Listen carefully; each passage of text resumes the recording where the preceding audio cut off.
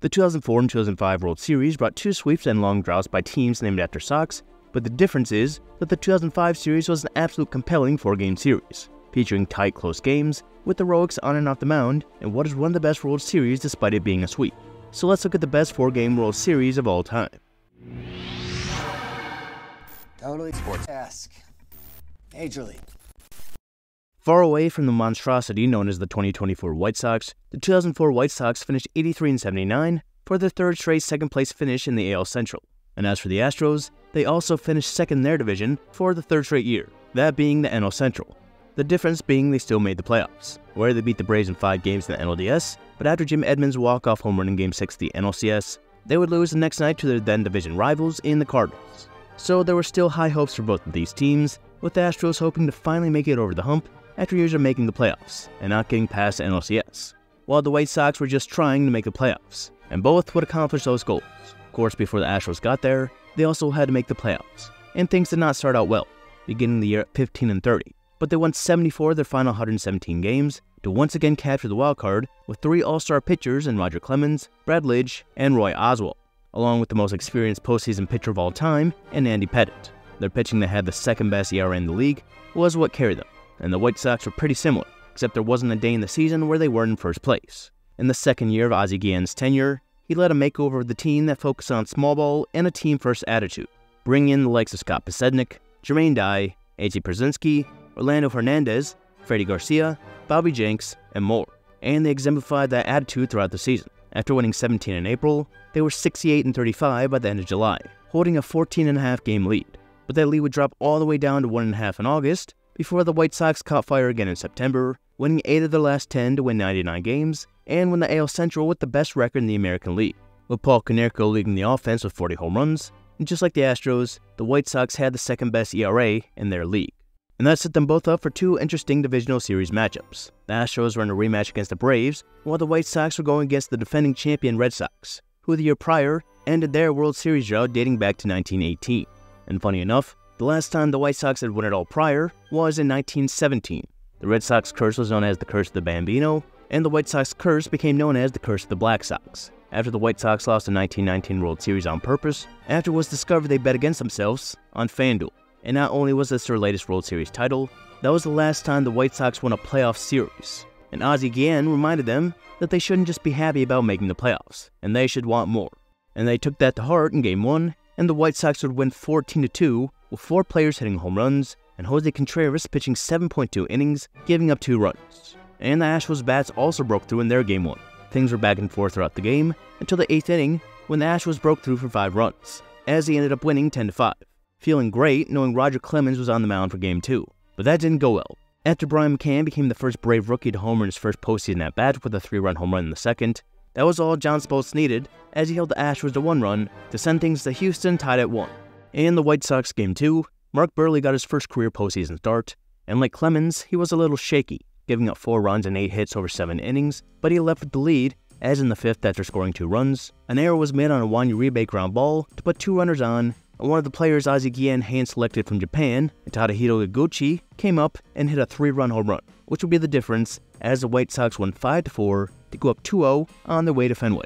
With fans not feeling completely safe, considering the White Sox history, and the fact that this Red Sox team just became the only team to come back from a 3 0 deficit the previous year. But before that, the Astros and Braves had their game 3, and the Astros jumped on Jorge Sosa for 2 in the first inning, but the Braves would tie things in the top of the second, that is until Mike Lamb hit a go ahead home run in the bottom of the third. And after Roy Oswalt pitched 8, and they added 4 in the 7th, they won 7 3, but then one went away from their second straight NLCS. Meanwhile, back in Boston, Freddie Garcia and Tim Wakefield were on the mound and the scoring began in the third with two runs from the White Sox, with forcing two runs from the Red Sox with back-to-back home runs. But in the sixth, Paul Konerko would hit a two-run home run, and despite another Manny Ramirez home run, the Red Sox could not catch up as Bobby Jenks got the final three outs. For the first time since 1917, the White Sox had won a playoff series. The White Sox got a nice break for the quick sweep, but the Braves and Astros almost played an entire series in Game 4. Tim Hudson was on the mound, What's crazy is this would be one of two 18 inning playoff games that he started, and he got a cushion when Adam LaRoche hit a grand slam in the third, with a lead that grew to five in the fifth. Then went back down to four after the bottom half, but another Brian McCann home run in the eighth grew the lead back to five. With assumptions that things were going back to Atlanta, the Astros rallied in the bottom half. Hudson's day ended, and after Luke Scott walked, the bases were loaded. And one of the most underrated postseason players in Lance Berkman would hit a huge grand slam to cut the lead down to one, marking the only playoff game with two grand slams. The Astros couldn't add any more, but they could in the ninth with two outs, and Brad Ausmus would hit the game-tying solo home run of Kyle Farnsworth, which sent things to extra innings for a pretty long time. Both teams had trouble driving in runners for extras. Luke Scott just missed a walk-off home run in the 11th that hooked foul, Brad Lidge escaped in the 11th inning with runners on second and third with one out. Then Dan Wheeler escaped a bases loaded jam in the 14th, before Jim Brower escaped a jam in the 15th. With a double play that sent things to the 16th, where Roger Clemens came in with the Astros out of pitching. This is the second time in his career that he came out of the bullpen, and he would fire three scoreless innings, bringing things to the bottom of the 18th, already where no postseason game had gone before, with the closest also featuring the Astros in Game 6 of the 1986 NLCS that went 16 innings. But things would not go to the 19th when Chris Burke would hit a walk-off solo home run with one out to send the Astros to the NLCS. A ball caught by the same fan who caught Lance Berkman's grand slam. It was labeled as the greatest moment in Astros history to that point, and made fans figure that this would be their year. But standing in their way was the team who beat them the previous year and the division winners in the 100 win Cardinals. And though Chris Burke stayed hot and hit a two run home run in game one, it wasn't until the 7th, when they were already down 5. They added another in the ninth, but they couldn't add any more, as the Cardinals took game one over Andy Pettitte and the Astros. Meanwhile, the White Sox were back from their break, and this time they were facing the Angels and the ALCS. And all the runs came early. The Angels added three over the first three, and AJ Pierzynski's single made it a one run game in the fourth. But neither team scored after, as despite Jose Contreras going 8.1 innings, the White Sox would lose their first playoff game as Francisco Rodriguez closed things out. This naturally meant Game 2 was huge for both teams. The Astros needed to take one on the road, and the White Sox couldn't afford to go down two games before going to LA. And the story in Game 2 was the Astros pitching. Two of their three All Star pitchers appeared in this game, and none more. Roy Oswalt pitched the first seven, giving up one run on an Albert Pujols home run, while Brad Lidge pitched the final two, as the Astros put up four runs along the way to win 4 1 to send things to Houston tied at 1, unlike the previous year. And then there was a memorable and controversial Game 2 of the ALCS. Jermaine Dye drove in a run on a groundout in the first, and the only runoff Mark Buehrle would be scored in the fifth, with Robb Quinlan's home run. The score remained tied at 1, as Buehrle would pitch all nine innings. Kelvin Escobar got the first two out in the bottom of the ninth, then he appeared to get the third when A.J. Pierzynski swung and missed at strike three in the dirt. Josh Paul rolled the ball to the mound as the Angels walked off the field, and with strike three not yet called, Pierzynski ran first just in case. And he remained at first, as after a discussion, umpires controversially ruled that it was a drop third strike, and Pierzynski was given first and that call became even more controversial when pinch runner Pablo Ozuna stole second. The Joe Crede drove him in with a single to win the game. Though controversial, this was a clear sign that it was the White Sox year. And it continued to look that way when they immediately scored three runs at the top of the first in Game 3, thanks in part to Paul Konerko's two-run home run. They had one in the third and the fifth, and even with Orlando Cabrera's two-run home run, Jon Garland threw the White Sox second straight complete game as he won 5-2. In Game 3 in Houston didn't get off to the same start, but Mike Lamb's two run home run got the scoring start in the fourth. The Cardinals would manage to tie things with one over the next two, but the Astros responded with two in the bottom of the sixth and led by two going into the ninth. Brad Lidge got the first two in the ninth before John Rodriguez walk and a John Mabry double that scored a run. The first run the Cardinals scored off Brad Lidge in over two years. They didn't add any more though, as Roger Clemens would pick up his 12th playoff win, and the Astros would get their second win of the series. And Game 4 in the ALCS was nearly the same as Game 3. The White Sox again put up three in the first, as Paul Konerko again hit a home run to drive in three runs, to become the third player to ever hit first inning home runs in back to back playoff games. And just like Game 2 and 3, a White Sox pitcher threw a complete game, this time being Freddie Garcia, with White Sox relievers needing to just get two outs for the first four games, as they were one win away from their first pennant since 1959. And Game 4 the NLCS was also similar to 3. The scoring again started in the fourth, when both teams scored one, and though Jason Marquis was strong, it was a Jason Lane home run in the seventh that was the difference, as again the Cardinals couldn't tie things off Lidge. But they continued to see it, unlike Tony La Russa, who became the first manager since 1998 to be ejected from a postseason game. For the first time since Game 1, the White Sox didn't score in the first inning, but they did in the second, with the Angels erasing a deficit for the first time at home with a run in the third. The White Sox would take the lead back in the fifth with a Jermaine Dye single, then the Angels got their first lead since Game 1 with a Figgins double and a Garrett Anderson sac fly. But in the seventh, Joe Crede would tie the game with a home run. Then one inning later, he would hit a go-ahead single off Francisco Rodriguez. The White Sox added two insurance runs in the ninth, and for the fourth straight game, a White Sox pitcher threw a complete game, this being Jose Contreras, marking the first time since the 1907 Cubs in the World Series that four pitchers recorded complete game victories. And for the first time in 46 years, the White Sox were going to the World Series, as Paul Konerko would receive ALCS MVP as he awaited their NL Central opponent. And with the Astros one win away, it was a great pitching matchup of Chris Carpenter and Andy Pettitte. And it was the Astros who struck first in the second with a Craig Biggio single. But the Cardinals took the lead with a two-run single from Mark Grudzielanek. Two-run score held into the seventh when Lance Berkman came huge again with a three-run home run, and the World Series looked inevitable as Brad Lidge came out with a two-run lead, and the Houston fans were loud as he got the first two on strikeouts. But another underrated postseason player in David Eckstein will keep things alive with a single, and Jim Edmonds followed that with a walk. The last thing he wanted to do is up to the plate came Albert Pujols. That year's MVP took a pitch, then on the second pitch, Pujols launched the ball to the tracks, defining a crowd silencing home run that Andy Pettitte called the farthest ball he's ever seen hit. Jason Isringhausen would get the final three, which kept the series alive, and guaranteed Busch Stadium 2 got at least one more game. That Pujols home run became so infamous that many forget what happened after, but Astros fans definitely remember. The Astros had to shake things off, and a strong start by Roy Oswalt really helped. Oswalt pitched four scoreless to start, and he was aided by two runs from the Astros in the third, and a Jason Lane home run in the fourth. The Cardinals scored their only run in the fifth on a sac fly, as Oswalt would pitch seven innings, giving up one run, leaving the game with a 5-1 lead. Chad Qualls pitched the eighth, and Dan Wheeler took the role of Lidge and got the final three outs, and for the first time in their history, the Astros are going to the World Series. The Roy Oswalt would take home the NLCS MVP as they made their way to the South Side for the first World Series game in Chicago since 1959. And the White Sox first World Series in 46 years, they continued to do what they had been doing. Jose Contreras set down the Astros in order, then Jermaine Dye hit a solo home run in the first. But the lead didn't last long, as Mike Lamb hit the first home run in Astros World Series history in the second. But that lead didn't last long, as the White Sox added two in the second, which Clemens didn't make it out of, in part because of his hamstring, as this was the shortest World Series outing of his career. And that lead didn't last long either, as the Astros added two in the third with a Lance Berkman single. And as you may expect, that lead didn't last long, as in the bottom of the fourth, Joe Crede hit a solo home run.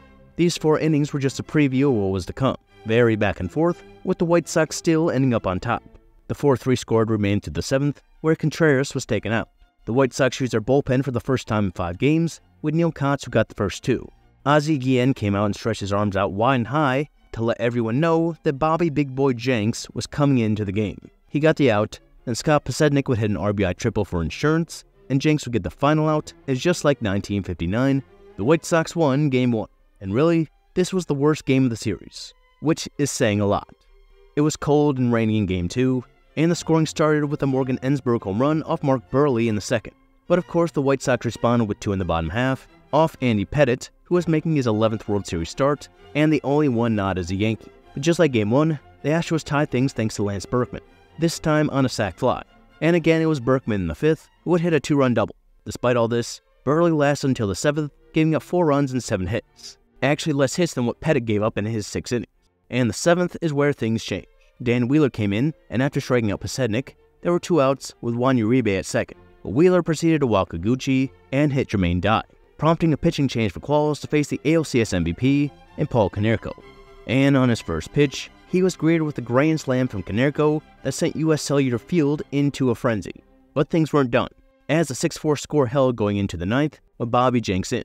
Jeff Bagwell led off with a single, Jenks got Lane to strike out, then walked Chris Burke before getting Ausmus to ground out, which moved the runners to second and third. And that left things up to pinch hitter Jose Vizcaino. And on one pitch, he would hit a single to left that would tie the game. A similar hit to his walk-off in Game 1 of the 2000 World Series. Bobby Jenks was replaced by Cotts who got the last out, but things were tied at 6 going to the bottom half. And into the game came Brad Lidge, looking for redemption after his previous outing. And he looked good getting Juan Uribe to fly out to start. And he didn't have too much to worry about in terms of power, as up to the plate came Scott Podsednik. The definition of a contact guy, he made 568 plate appearances that season and hit approximately zero home runs. So it would be best not let last year's stolen base leader get on. But Podsednik said you don't have to worry about that, as he would hit the 14th walk-off home run in World Series history, and his second home run of the postseason, arguably the biggest hit in White Sox history, and one that was massive, and sent the White Sox to Houston up 2-0. The World Series went to Texas for the first time in history, and Astros fans had prepared themselves well for never ending games. And it was all Houston to start. Lance Berkman stayed hot by driving in Craig Biggio in the first, and after killing a rally in the second, Biggio and Ensberg hit RBI singles in the third, and the lead go to four in the fourth when Jason Lane hit a solo home run as Roy Oswalt was cruising to that point. But things changed in the fifth. Joe Crede led off with a home run, and four of the next five would hit singles to make things a one-run game. Paul Konerko flew out, then A.J. Pierzynski would hit a two-run double, which gave the White Sox the lead, erasing a four-run deficit in the matter of one half inning. Oswalt escaped the bases loaded to end the inning and pitched the sixth before being taken out in the seventh, which was Jon Garland's last inning, as he came out with the White Sox winning.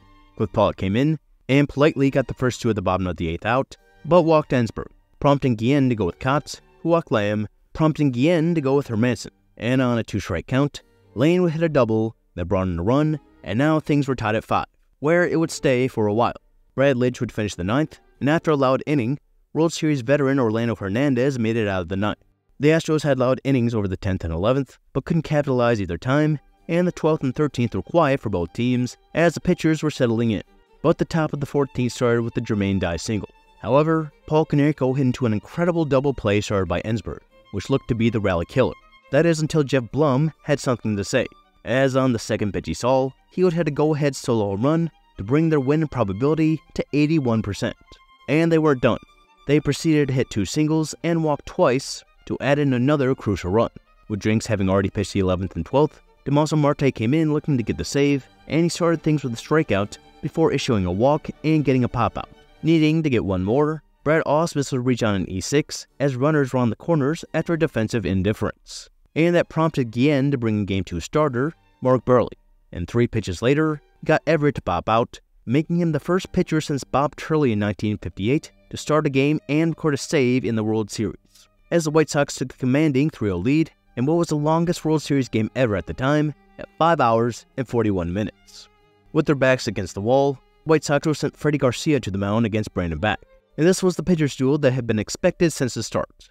They were both dealing reminiscent of John Smoltz and Jack Morris in 1991, as for the first time since their duel in 91, a World Series game started with seven scoreless innings, both striking out seven over seven making this the fourth straight game where the White Sox had a pitcher go at least seven innings. And in desperation mode, the Astros sent Brad Lidge out there in the eighth, and Willie Harris led things off with a single.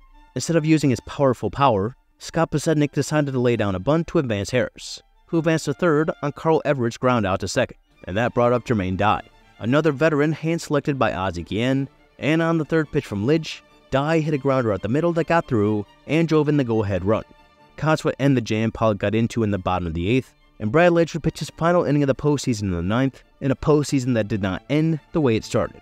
And that brought in Jenks, looking to give the White Sox their first title since 1917, as the 1919 White Sox looked on, sweating the live bets they just placed. And it got sweatier when Lane led off the inning with a single. Ausmus proceeded to bunt him over to put the tying run at second, and on the sixth pitch of the at-bat, Chris Burke hit a pop fly into foul territory, and Juan Uribe ran over to make an incredible catch in the stands one of the most underrated plays in World Series history. And now Orlando Palmeiro was their last hope. And as he went down 1-2, he would hit a chopper over Jenks' head. And Uribe made another great play that had no chance to be reviewed, and for the first time in 88 years, the White Sox were World Series champions.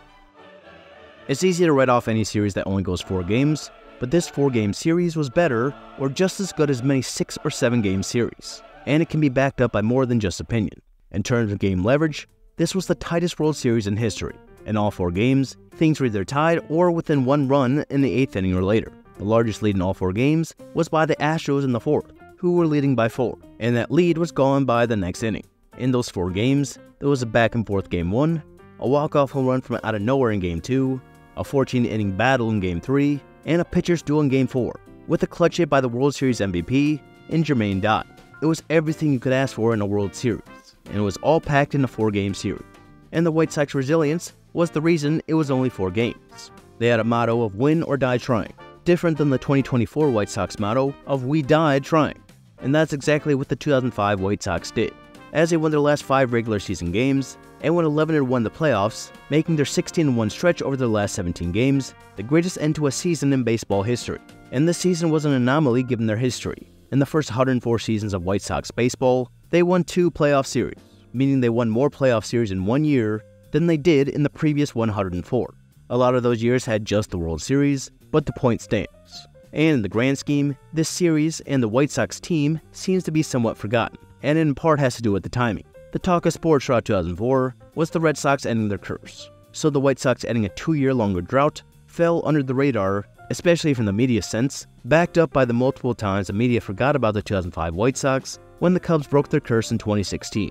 But that kind of exemplifies the team and the White Sox a team with a perfect mix of power, small ball, tough pitching, veterans, and loud and quiet personalities led by their loud manager. And they were different than the 2004 Red Sox or the 2016 Cubs, in that they just absolutely cruised to a title, having to come back in a lot of games, but never having real doubt that they may lose a series, like 102 of the previous 104 White Sox teams. And now maybe the White Sox will hire a former manager like they like to do, and Ozzie Guillen will lead the greatest turnaround in history, as the 2025 White Sox will go 121 41 and sweep through the playoffs.